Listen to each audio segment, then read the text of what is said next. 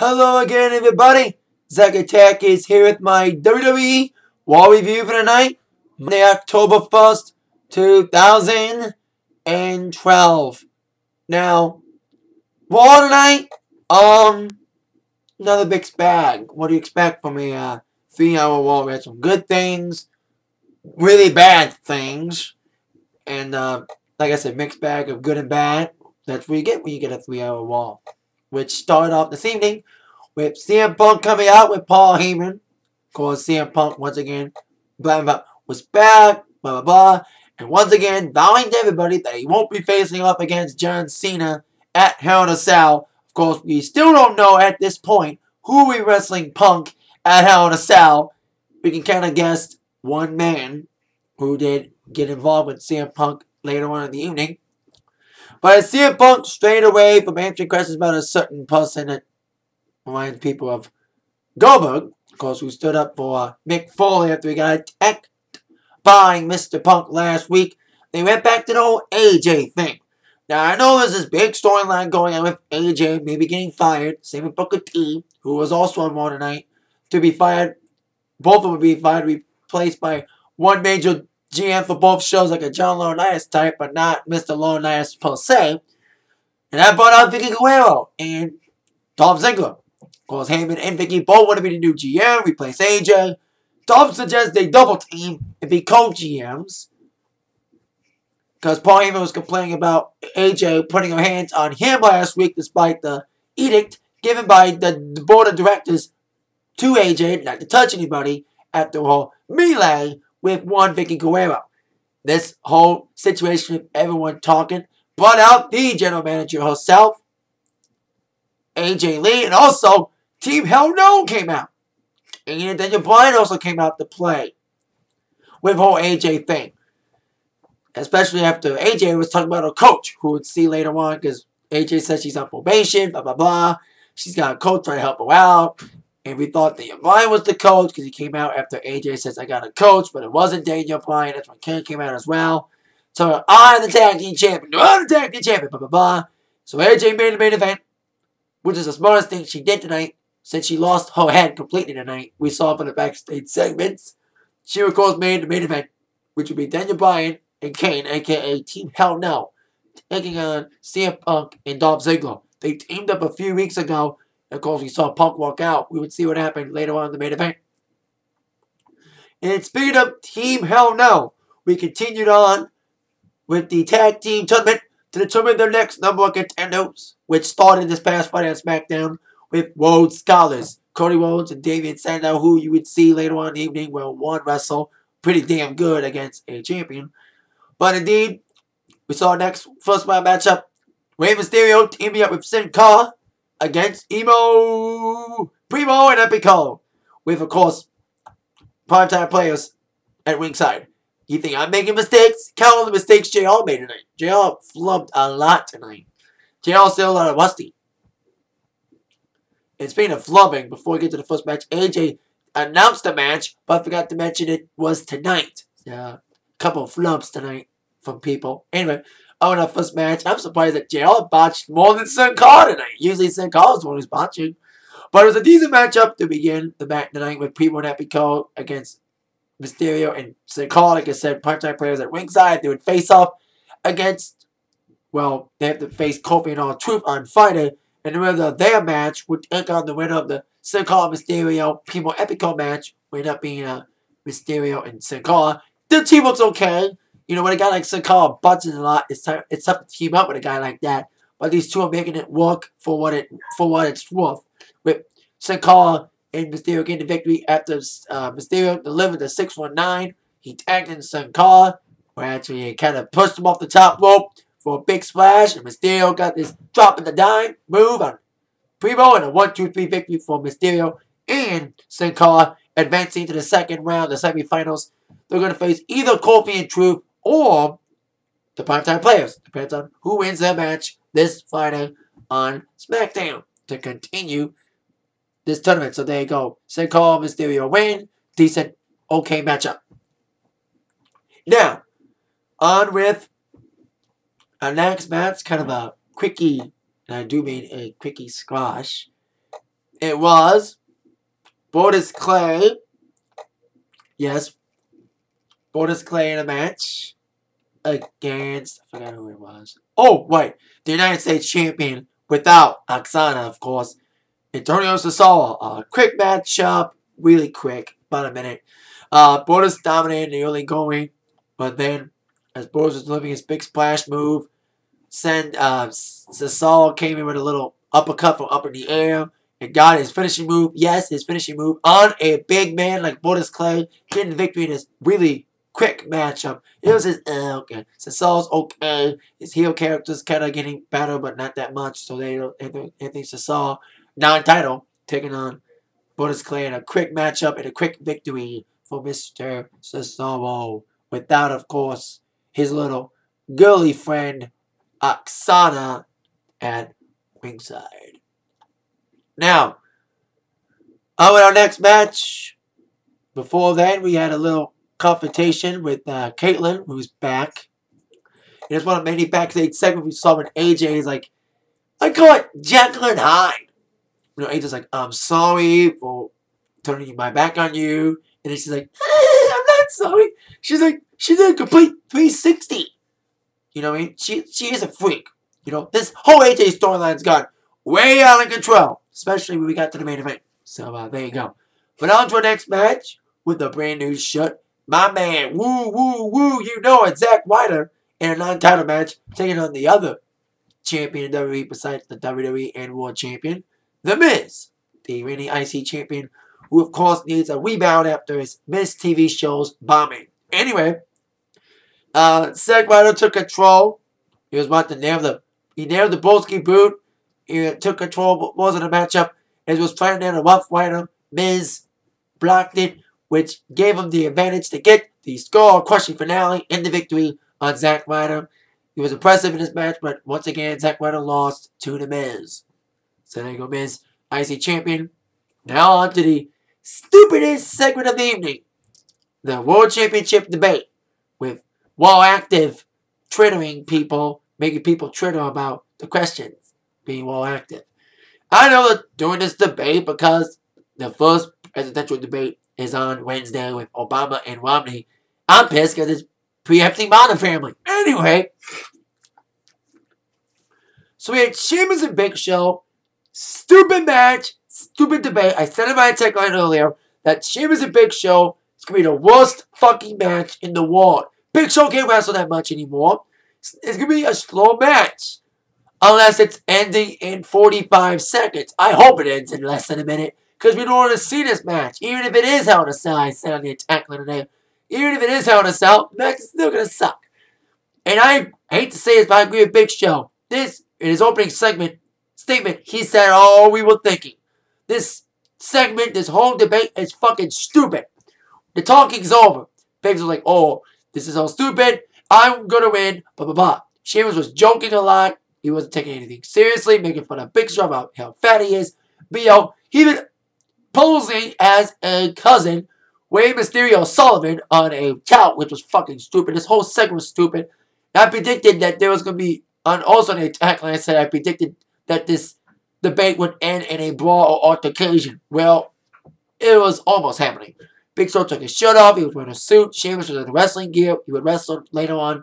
I mentioned he would wrestle Damien Sandow or Cody Rhodes. Well, Cody would stay out ringside with Damien. Anyway, Looked like the fight I predicted was going to happen, but Big Show backed away. So we ended this stupid debate with a stupid ending. Of course, we would later see Sheamus wrestle later on in the evening. Now, as we shake the cupboards off a stupid segment, on our next match, which is also kind of a stupid situation, it was the One Man Band! Heath Slater taking on Santino Marella, and Slater had a little bit of company at ringside. He had Jinder Mahal, and he also had another friend, Scottish friend, Drew McIntyre at ringside, the Jobber team. Team Jobber. That's their team name. Anyway, uh, before that match, we actually had Tensai against Ryback. Of course, the guy would get a little face up and pumped. Another good typical Ryback match, even with Tensai. Uh, Tensai's been getting beat by everybody. You know, someone slammed Tensai. I think, who slammed Tensai last week? Was it Ryback? But who knows. But, uh, Tensai lost, because the march, uh, uh, uh, typical Ryback squash. Goldberg indeed. Ryback wins the squash. Let's move on to the match I was talking about, which was Heath Slater taking on Santino Marella with Jinder Mahal Drew McIntyre ringside. Another silly squashing match, which ended in disqualification. Uh, actually, it looked like he was going to win the match, but uh, Santino made the comeback. He did his famous two moves of doom before he did. He was ready to pull out the Cobra, but Jinder Mahal and Drew McIntyre got, got involved, causing a disqualification. And I heard rumors that Santino was uh, injured. Injured or not, maybe that's why they attacked him after the match. They triple teamed on Santino, this entity I call Team Jobber because they jobbed a lot. You know. Anyway, uh, let's see what these what this tandem can do as they sent a huge message to not just Santino but everybody by attacking Santino after the match. Maybe whether or not why they did it, maybe because he's injured, who knows? I heard he did get injured, but he said it was a close call. Injured or not, maybe that's why they had the triple team attack on Santino. Maybe they're winding him out to let him rest if he is really injured. But indeed, it was a disqualification victory for Santino, but Santino was laid out by Heath Slater, and of course, the uh, triple tandem. Also, we had Eve, the Reigning Divas champion, taking on Beth Phoenix after what happened last week when uh, Eve accused Kaitlyn's attacker of being Beth Phoenix and, and uh, being wrong, blah, blah, blah. Typical Divas match, silly Divas match with Eve getting the victory. Probably Eve got injured and Eve took the advantage, blah, blah, blah. Sportsmanship my ass. So, uh, another typical Divas match with Eve getting the victory over Beth Phoenix, who's, of course, leaving at the end of the month, as I mentioned on the attack line, as well as, of course, Kelly Kelly being released over the weekend. Now, now it was that match. I kind of uh, mixed up the order. That uh, that Eve's match was after Jinder Eve's match was before the Santino match, but anyway, now I'm back in order with our next match, which I thought was a decent matchup. Uh, I was kind of impressed by uh, Damien Sandow and his performance against Sheamus. Now, non-title match, of course, Sheamus fuming after his little debate with Big Show. Of course, although he's a little bit focused on Big Show, he didn't focus enough on Damien Sandow. Wasn't underestimating him. Sandow with, of course, his partner, Rhodes Scholars' partner. Cody was at ringside, commentating a little bit before Sandow tried to leave. But even if he did leave, he did come back. And Sandow was impressive in this match. He really took it to Sheamus. You know, I, I was kind of impressed by his performance tonight. Uh, his character people want to hate him. You know, the whole preacher thing. You know what I mean? I'm kind of getting used to his character now, and uh, I kind of like his like development. He's getting a little push, wising up, and I saw him taking the advantage of Sheamus, but I was like, I like Sandow in this match, and I know he's to lose, which he, of course, did lose, but I thought he was a decent performer in this matchup. He uh, took it to Sheamus. Physicality match, it was kind of back and forth, especially the last five minutes with Sheamus making the comeback, delivering the white noise, and even getting Cody Rhodes involved, which didn't involve a disqualification. That was weird. But uh, Cody Rhodes got the brunt of a Brogue Kick. That was a double Brogue Kick to both Cody and Sandow, which ended the match 1 2 3 victory for Sheamus coming back after being dominated most of the match by Damien Sandow. That was a decent matchup, probably my favorite matchup of the night's Raw. So there you go. Sheamus wins over Damien Sandow who, like I said, gave an impressive performance. Maybe we'll see him down the road, maybe getting a title shot, or maybe being champion. He needs a few more big wins, a little bit more development, but indeed, Damien Sandow's on the way up. This is what JR like to call his signature match. The match that kind of made him jumpstart to being a star.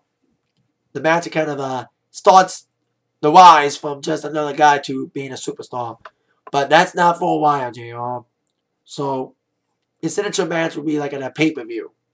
But this is a decent matchup, kind of a jump start for Sandow if he gets another big win over somebody after coming back from this loss. Because Peter JR on a segment, next segment, which was uh, JR, Jim Ross, Appreciation Night. Of course, Jim Ross is, of course, replacing Jerry Lawler for the time being. I mean, Jerry may come back in November. That's his target, but we'll see what happens. Uh, JR, it was JR Appreciation Night because it was in Oklahoma City, Oklahoma.